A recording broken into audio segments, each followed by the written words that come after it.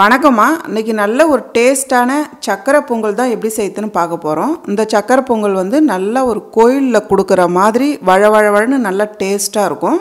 அதே போல் ரொம்ப சீக்கிரமாகவும் செஞ்சிடலாம். வாங்க எப்படி செய்யுதுன்னு பார்க்கலாம். இப்போ வந்து ஒரு பாத்திரம் வச்சுக்கலாமா? சக்கரை பொங்கல் வந்து எப்பயுமே குக்கரில் செய்கிறத விட ஓப்பனில் செஞ்சிங்கன்னா நல்லா டேஸ்ட்டாக நல்லா வழவழப்பாக இருக்கும். அதனால் வந்து நான் வந்து ஓப்பனில் செய்கிறேன் இப்போ வந்து ஒரு பாத்திரத்தில் பச்சரிசி சேர்த்துக்கலாம். நான் வந்து இரநூத்தி ஐம்பது கிராம் பச்சரிசி எடுத்துருக்கேன். இதை சேர்த்துக்கலாம். இரநூத்தி ஐம்பது கிராம் பச்சரிசினா ஐம்பது கிராம் பாசி பருப்பு எடுக்கணும். அதாவது சிறுபருப்பு. சிறுபருப்பு வந்து அதிகமாக எடுக்காதீங்க. ரொம்ப கம்மியாக எடுத்துக்குங்க. இது வந்து ஐம்பது கிராம். இப்போ வந்து அரிசியும் பருப்பும் சேர்த்து நல்லா கழுவி எடுத்துக்கலாம். பாருங்கம்மா இந்த அளவு கழுவி எடுத்துருங்க. இப்போ வந்து நான் வந்து ஒரு மூணு கப் அளவுக்கு தண்ணி சேர்க்குறேன். அவ்வளோதான் இந்த அளவுக்கு வச்சாலே போதும். சக்கரை பொங்கலுக்கு வந்து நீங்கள் வந்து தண்ணி ரொம்ப அளவாக வைக்கணும்னு இல்லை. கொஞ்சம் அதிகமாகிடுச்சுன்னா கூட குழஞ்சி தான் வரும். குழஞ்சி வந்தால் டேஸ்ட்டு நல்லா தான் இருக்கும். நீங்கள் வந்து கம்மியாக வைக்கிறத விட அதிகமாக வச்சுட்டா இன்னும் நல்லாயிருக்கும். இப்போ வந்து ஸ்டவ் ஆன் பண்ணிக்கலாம். அப்படியே இருக்கட்டும். நடுவில் எடுத்து கிளறி கிளறி விடுங்கம்மா. அப்படியே விடாதீங்க. ஏன்னா அடி பிடிக்கும். அப்பப்போ கிளறி விட்டுக்கிட்டே இருக்கணும். நம்ம வந்து பொங்கி வரும். பொங்கி வர டைமில் கிளறி விட்டுக்கிட்டே இருக்கணும். அதுக்கப்புறம் அடுப்பு தீ வந்து குறைச்சிடணும். பாருங்கம்மா இப்போ வந்து ஒரு பத்து நிமிஷம் ஆயிருக்கு.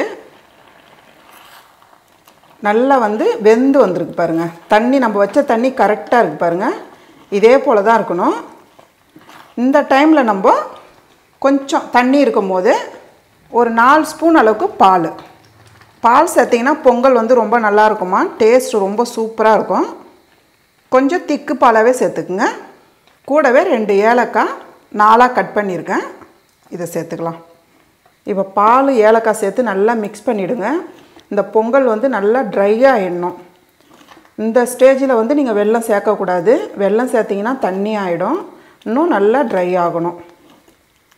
ஒரு பத்து நிமிஷத்தில் இந்த அளவுக்கு வந்திருக்கு. இன்னும் வந்து ஒரு பத்துலேருந்து ஒரு பதினஞ்சு நிமிஷம். இப்போ ஒரு பத்து நிமிஷம் அப்படியே இருக்கட்டும்மா பாருங்கம்மா நம்ம வந்து தண்ணி கொஞ்சம் இருக்கும் போதே பால் சேர்த்தோம். பால் சேர்த்து நல்லா ட்ரை ஆகிடுச்சு பாருங்கள் பொங்கல் வந்து இந்த அளவுக்கு தண்ணி இல்லாமல் நல்லா ட்ரை ஆகிடணும் இப்போ இந்த டைமில் நம்ம வெள்ளம் சேர்த்துக்கணும்.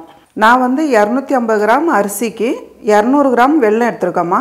சில பேர் வந்து ஸ்வீட் ரொம்ப கம்மியாக சாப்பிடுவாங்க. அவங்க வந்து நூற்றி ஐம்பது கிராம் கூட வெல்லம் சேர்த்துக்கலாம். நான் வந்து இரநூறு கிராம் வெல்லம் சேர்க்குறேன்.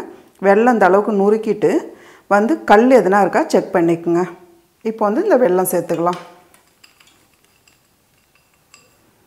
வெள்ளம் சேர்த்துட்டு ஒரு அஞ்சு நிமிஷம் அப்படியே கிளறி விட்டுக்கிட்டே இருங்க.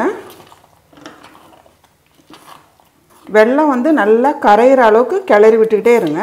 பாருங்கம்மா நம்ம வெள்ளம் சேர்த்து நல்லா திக்காயிடுச்சு பாருங்கள் இதை போல் தான் இருக்கணும் பொங்கல். இப்போ இதை நம்ம எடுத்துடலாம். இப்போ பொங்கல் வந்து நம்ம நெய் சேர்த்து தாளிச்சிக்கலாம். ஒரு சின்ன கடாயில் ரெண்டு ஸ்பூன் அளவுக்கு நெய் சேர்த்துக்கலாம். பொங்கல் வந்து நெய் எவ்வளோ இருக்கோ அந்த அளவுக்கு டேஸ்ட்டு ரொம்ப நல்லாயிருக்கும் உங்களுக்கு எவ்வளோ நெய் தேவையோ அதுக்கேற்ற மாதிரி நீங்கள் சேர்த்துக்குங்க. நெய் வந்து கொஞ்ச நேரம் நல்லா சூடாகட்டுமா? பாருங்கள் நெய் வந்து நல்லா சூடானதும் நம்ம தேவையான அளவு முந்திரி சேர்த்துக்கலாம். அதே போல் கொஞ்சமாக காஞ்ச திராட்சை. முந்திரி திராட்சை சேர்த்து நல்லா அப்படி கிளறி விடுங்க. நல்லா ஒரு ப்ரௌன் கலராக வரும் முந்திரி. அது வரலாம் அப்படி கிளறி விட்டுகிட்டே இருங்க. அடுப்பு தீ வந்து குறைச்சிடுங்க. இப்போ வந்து இது நம்ம பொங்கலில் சேர்த்துடலாமா? அவ்வளோதாம்மா நல்ல டேஸ்டான ரொம்ப சூப்பரான சக்கரை பொங்கல் ரெடி